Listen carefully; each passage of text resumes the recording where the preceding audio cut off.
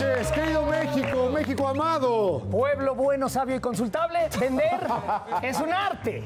Y todos los grandes empresarios comenzaron vendiendo algo. Carlos Slim comenzó vendiendo chips para celular en Plaza Meade. Bill Gates vendía sedes de Windows pirata también en Plaza Meade. Así que este microempresario de Caleta y Caletilla tiene un futuro prometedor. No importa, estoy grabando, tranquilo, dale. Fíjate nada más, innovador para la Miren venta. este espectáculo, cómo se inventan de cosas, Dios mío. No, y espérese, señora, mire lo que falta, el pito. El pito. Ahí está. Ahí está. Ahí está. Mira ¡Qué belleza. El yate va entrando a la bahía, está No, acá. No, no, no, no, no. Es el yate clavel negro. No, no es el, el yate este italiano, el yate puse de perito.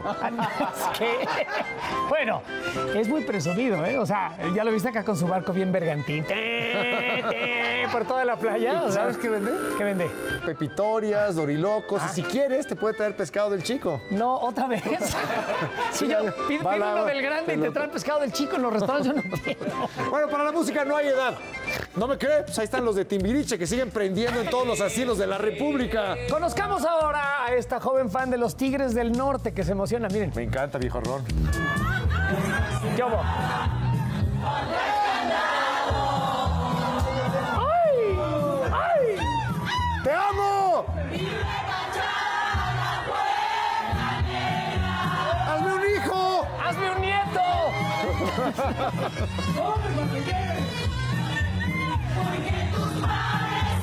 tus padres, tus padres que eran los cavernícolas o qué?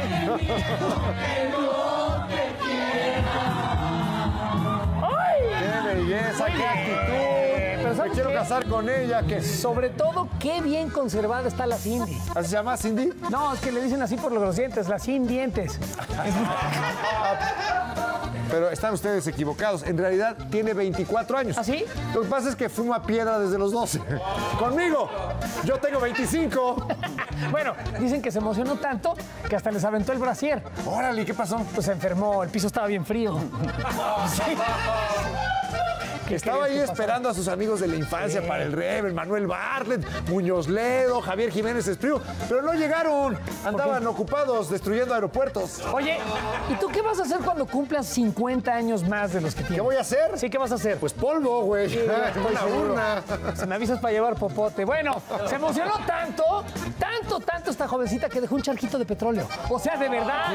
¡Qué emoción de la, emoción de la buena, ¿qué? ¿Qué Y lo mejor fue que después llegaron Los Ángeles. Los Ángeles Azules a tocar al escenario acá. No, llegaron Los Ángeles por ella y se fue. Oh, se Ah, fue. que se fue para- Señora, ¿todo bien? ¿Qué tal está la calor? Ahí abajo. Ella iba lista para divertirse. Botas, chelas, pastilla del día siguiente. Bueno, para ella eso es una aspirina para la cruda, ¿no? Y unos supositorios de calcio. Así es. Pero bueno, vamos a dar un viaje por la República Mexicana. Tenemos para ustedes lo más relevante en noticias de provincia. Porque aunque usted no lo crea, en provincia también pasan cosas importantes Claro. de relevancia e interés mundial. Como el ¿Eh? caso de esta mujer en Mérida, Yucatán, que demandó a su, estili- a su estilista porque no le gustó cómo le dejó el hoyo. ¿Cómo? Estilista le corta de más el cabello a una de sus clientes. Ella me empezó a cortar el cabello. Empecé a ver que me estaba cortando la parte de atrás. A la hora de terminar, me mostró la parte de atrás. Pero lo que ellas hicieron fue ponerme el cabello más para atrás para tapar los huecos.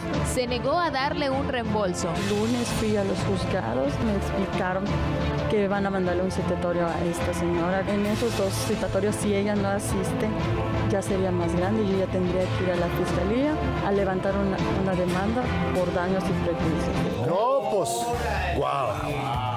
Al parecer la ONU va a intervenir en este caso, la UNESCO y el grupo de los seis. De los seis estilistas que hay en todo Yucatán. Pero ni se le ve tanto, además es normal que se te ve el hoyo por detrás, ¿no? Claro. Pues mira, este ve, o sea, y a mí se me ve el hoyo por detrás. Sí, se, se le ve. Pues, Se le ve como Por un delante hoyo. no, pero por- como- pero como un hoyo peludo por detrás. pues está este tiene raro. pelucita, pero sí se siente. No, ya no tiene nada. Sí tiene, siento, un pero ya- poquito. pero, pero hay más noticias impactantes de Mérida. Sí, a una señora el zapatero le puso medias suelas y ella había pedido suelas completas. ¿Eh? Otra señora descubrió que en la lechería no le estaban echando litros de a litro. Sí. Y a doña Jovita la engañaron. le metieron chile del que pica en su panucho y le ardieron muchísimo los labios, porque ella no acostumbra ese chile tan picoso. Sí, ella había pedido del que no pica. Qué, qué barbaridad. Pero bueno, siempre ha existido una eterna batalla entre juventud y experiencia, entre los hombres maduros que poseemos conocimiento empírico de la vida y los chavos que quieren salir y salpicarnos con sus ideas. ¿Por qué, por qué a mí? Pero ¿quién ganaría Fíjate solo. experiencia o juventud? Esto nos puede ayudar a resolverlo eh, una pareja de niños de 8 y 13 años en una batalla contra raperos adultos. ¿Quién ganará, Cagadán? No lo sé, Ruco Rivera. Vamos a disfrutarlo. Sabes que tenemos 8 y 13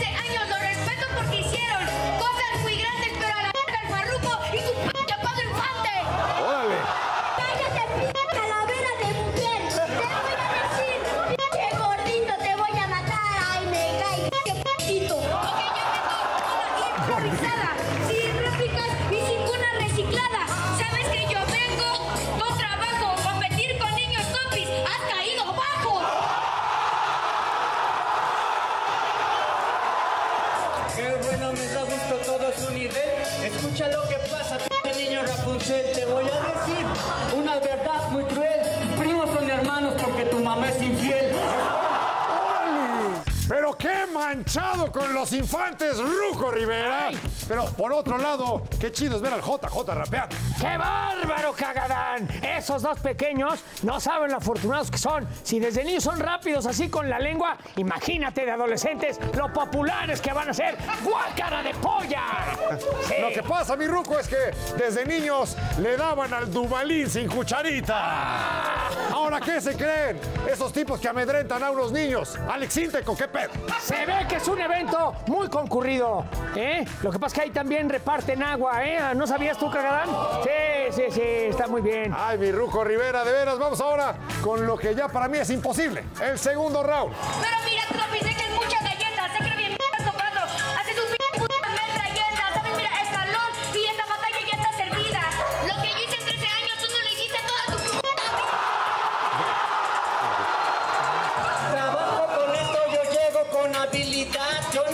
chavo, tú no me hables de paternidad. Y si tú quieres hablarme de sexualidad, tu pene es muy pequeño, incluso para tu edad. Oye, Ruco Rivera, pero no son niños, es Carlitos Espejel con botox y el otro es Homerito sin gorra. ¡Qué bajeza, Cagadán! Le criticó su parte al niño. Le hubiera contestado, mi pene no es pequeño, estás equivocado. Mi pene es este niño que traigo yo aquí al lado. Mi tan enorme que le pongo ropa. Ahora lo ves gigante y te lo retaco como estopa.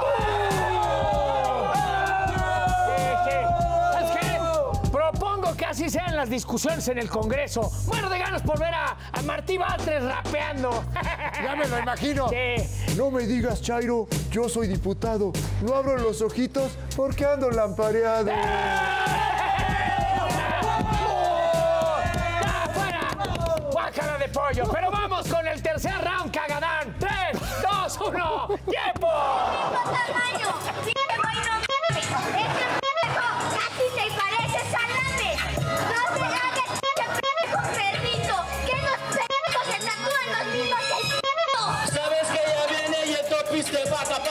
rima que yo de toda la gente aquí yo vengo a destacar con este estilo. Aquí los repano. Miren a sus papás, están viendo a los Reyes.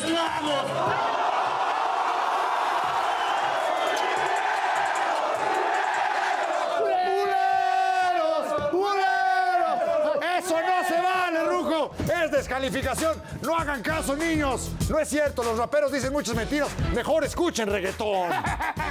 ¡No lo puedo creer! Los papás de ese niño son los Reyes Magos, Cagadán. Pero si solamente son dos.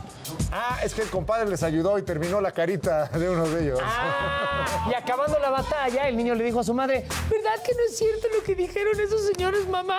Por supuesto que no, mijito, es mentira. Claro que no le soy infiel a tu padre. Mira, poco le faltó para explicarle de dónde vienen los bebés, Cagadán. Ah, Vamos ¿qué? con Eduardo Iniesta, que Eduardo tiene Iniesta, noticias. Señores, pase por acá, por favor. Del mundo multicolor. ¿Qué pasó, Tocayo? información. El mundo heteronormado y únicamente con dos géneros como lo conocen está a punto de concluir. En una alianza sin precedentes, el exnovio de Mauricio Clark y un servidor nos vamos a dar la tarea. ¿El exnovio de Mauricio Clark? El exnovio de Mauricio Clark. ¿Él también ya dejó de ser gay o Vamos a homosexualizar al mundo. Pongan atención. Oye, Bola, ¿ya viste las cosas que está tuiteando el ex de este güey? Mames. Pues ya ves cómo es tan fácil que se te quite lo homosexual con un bañito y ya. Y ya. Güey, ya quiere que todo el mundo deje de ser homosexual. Que tan mal lo trataste que de plano dijo, ya los hombres ni más. No, yo creo que sí estuvo muy bien, la verdad fueron unos años bonitos, pero no sé qué le pasó. O sea, ¿y en verdad te crees que ya dejó de ser homosexual este güey? Yo creo y espero que no, porque si no hice muy malas chambas, pero pues no sé. ¿Y por qué se canceló la boda, güey? Otras cosas por un pequeño problemita, ¿no? De adicciones, pequeño. Oye, pero yo sí tengo un problema. Él quiere deshomosexualizar al mundo y nosotros tenemos la obligación de seguir homosexualizando el mundo, Iván. Casualmente, siempre traigo conmigo una práctica receta oriental homosexualizadora y se homosexualiza el mundo con sushi. La única bronca de esta receta es que necesitamos a un heterosexual virgen para que la haga. Ah. No, no, no, no, no, no. Yo no, yo no soy virgen. Bueno, ya casi no soy virgen. No, no, no. Yo soy machín. Yo soy machín. Órale, don Bolas, tenemos que homosexualizar el mundo. Empie empiézale, tú eres el que le sabe.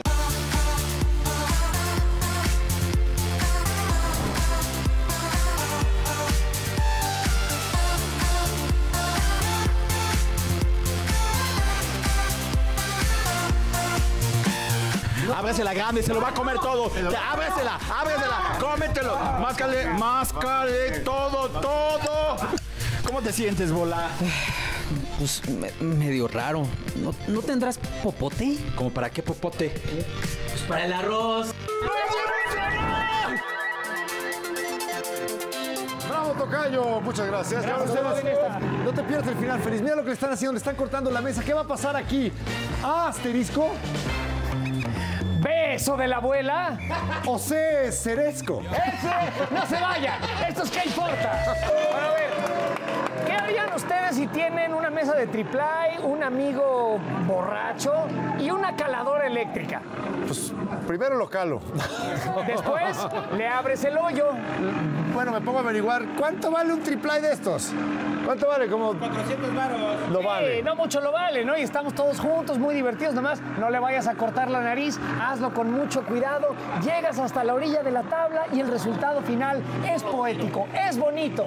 El suelo te reclama, maldito borracho, así que reúnete con él a la de ya. Muy bien. Y al pobre le quedó enorme el hoyo. Sí.